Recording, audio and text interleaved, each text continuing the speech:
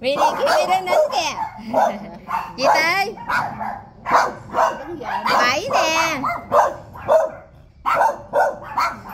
ông nhộm nhắc ờ ố